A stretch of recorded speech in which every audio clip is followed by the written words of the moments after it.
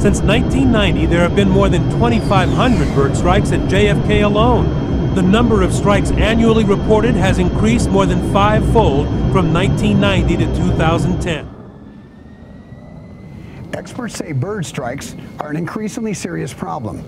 They cause an estimated $600 million in damage to planes every year. But you can't put a value or price on the loss of life. Millions of businessmen and women are taking commuter flights every day. Just imagine the risk they're taking. Flocks of birds, like the one that brought down Captain Sullenberger's flight that ended in the Hudson River, have been blamed for scores of small plane crashes and at least two major U.S. aviation disasters. The objective of the Bartol Research anti-bird strike invention is to dramatically reduce the incidence of bird strikes on aircraft and their engines. It doesn't matter if the aircraft is landing, taking off, climbing, or at cruising altitude. The technology we are developing will save lives and reduce costly repairs. No matter how qualified pilots are, a bird strike to an aircraft engine is something they cannot control. The in-flight application of this invention will also act like a bird snowplow, clearing the air in front of the aircraft two to three miles. Here is a brief video that explains some of the conventional methods that are currently being used to clear birds off runways. Lush and green. In fact, it's called Tree City USA. But this small base has a big problem because of the trees. Some people call me the Birdman. Yep, they how, sure do. How do you feel about that? Oh, it's okay. I've been called worse. Birdman Mike Pacheco is actually a U.S. Department of Agriculture employee hired by Randolph to keep the flight line as bird free as possible. With all the foliage making up Tree City USA, it's a huge task. He utilizes passive and active methods as part of an integrated wildlife management program. One passive measure simply involves riding in his truck with speakers that blast sounds of various predatory birds, like falcons and hawks, as well as the sounds of birds in distress. In theory, the sounds will scare the birds away. That's not always the case, though. In fact, even the roar of jet engines screaming down the runway doesn't seem to phase some of the birds. Besides the bird noises that blare from Mike's truck, he has another bird scaring technique pyrotechnics. Banger guns, cannon fire.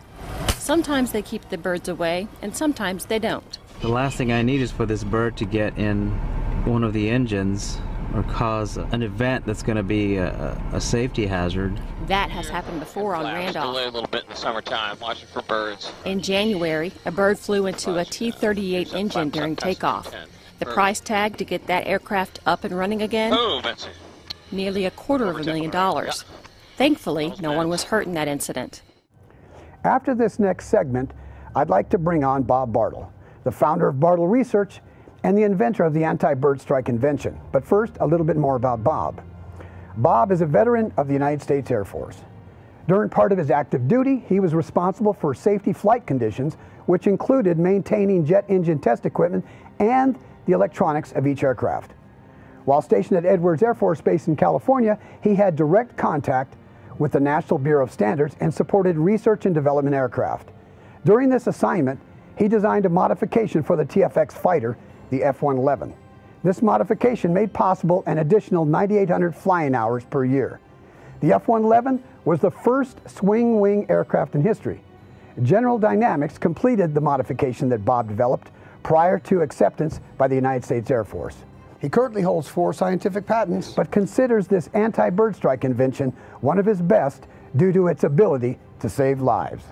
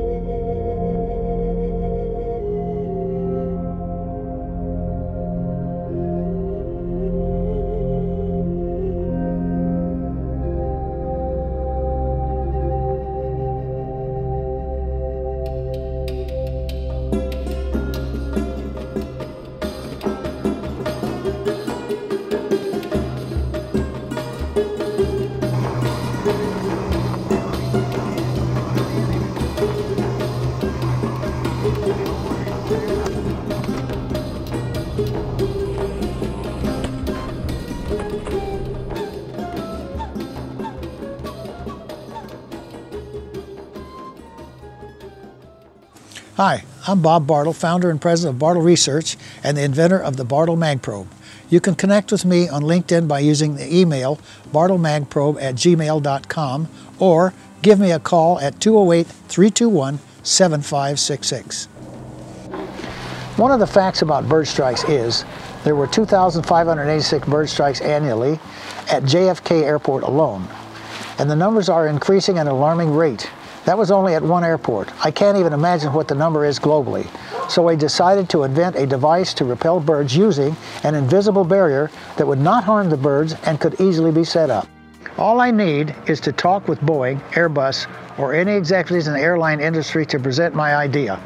My invention will absolutely work, and I can prove it within seven days. I have already proven one method and have two other methods I know will work. So if you want to dramatically reduce bird strikes, give me a call at 208-321-7566 or email me at bartolmagprobe at gmail.com. What do you got to lose?